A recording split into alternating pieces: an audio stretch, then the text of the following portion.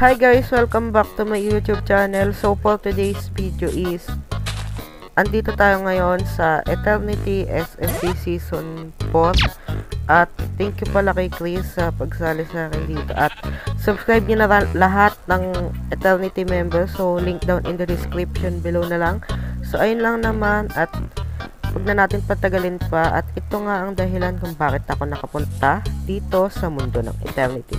Let's go! Naubusan na ako ng base halt para sa mountain base. Siguro ko muna tayo sa nether.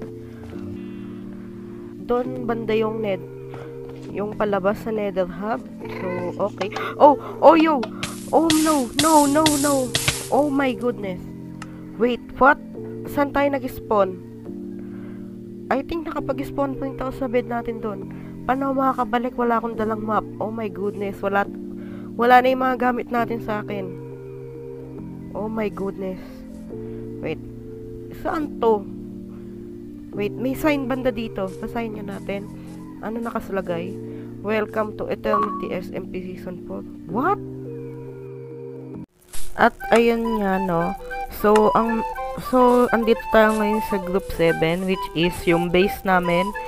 Ang mga kasama ko dito is si Ellie, si Zero, and si Lawrence. And ayun, so, thank you nga pala kay Lawrence at Zero and Ellie dahil binibigyan nila ako ng diamonds.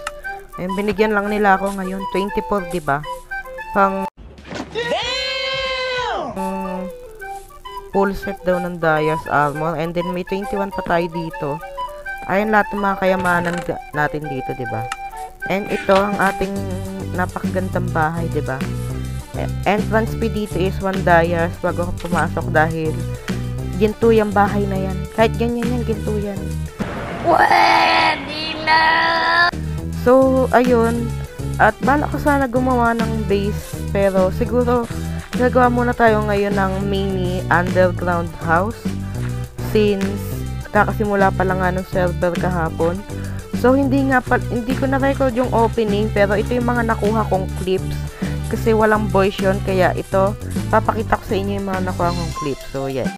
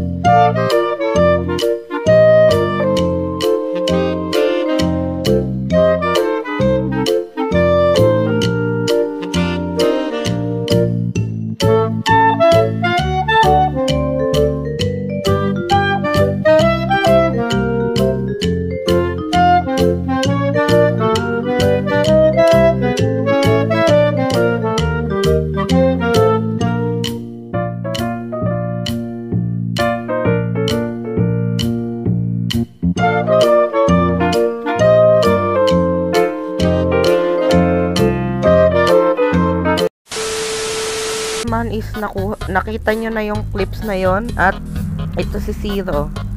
Si Chris ata tong nasa skin niya. Hello. Itago nga muna natin tong dias natin. Parang minaririnig kayo nagwe-welding kasi may nagko-construction sa labas. Sa bahay. So, ito. And, siguro mga 5x5 yung gagawin natin. So, kuha na siguro tayo ng wood dito. So, bago yon wait. So, siguro dito na lang tayo magtayo ng ating, ano, since ito patag to eh. Siguro dito tayo magtayo. Tatlo ata yung pagitan nun eh. Ayan. Maliit lang to, so kaya ganun. Okay, nice. So, baka speed up ko na lang din tong paggawa natin ng, ba ng underground base. Thank you.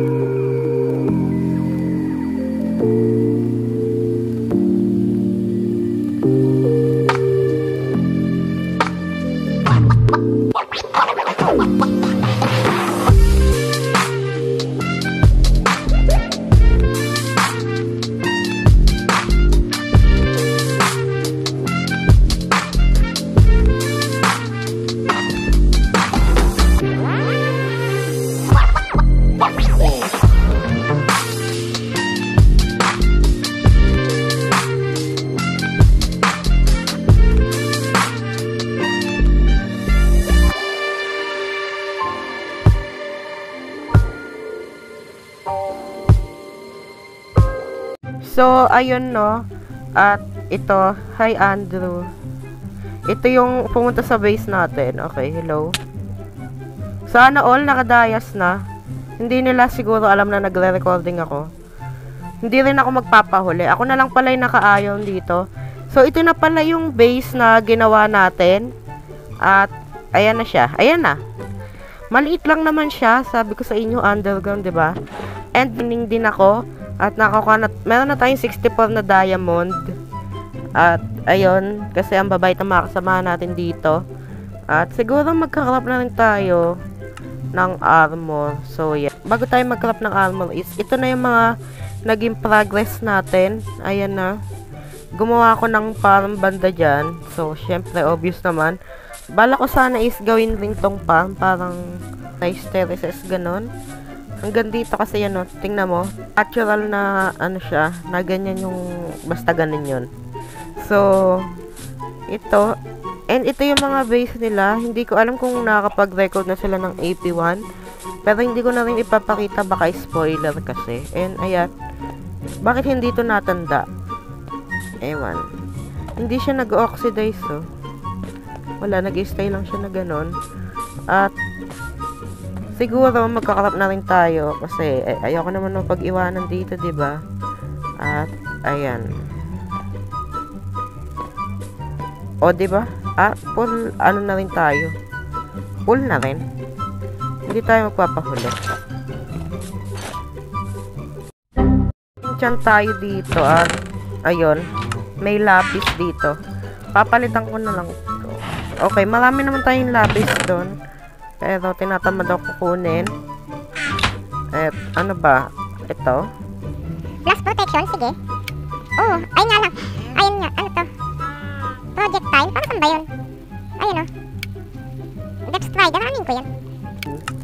Nice.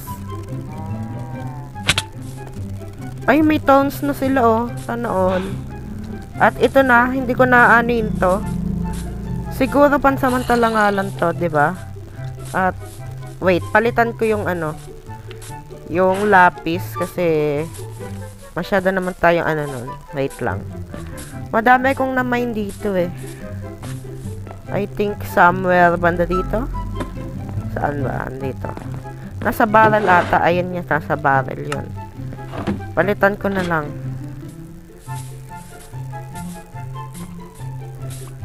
Ito, si Zero. Yung ka, ka base natin.